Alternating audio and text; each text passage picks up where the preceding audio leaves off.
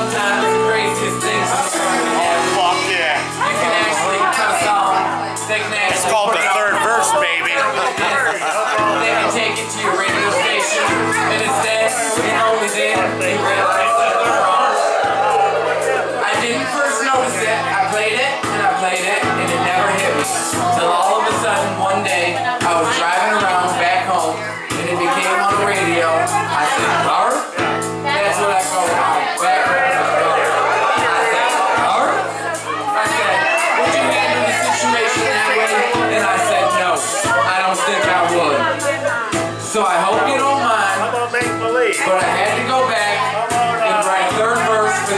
Turn it a little bit.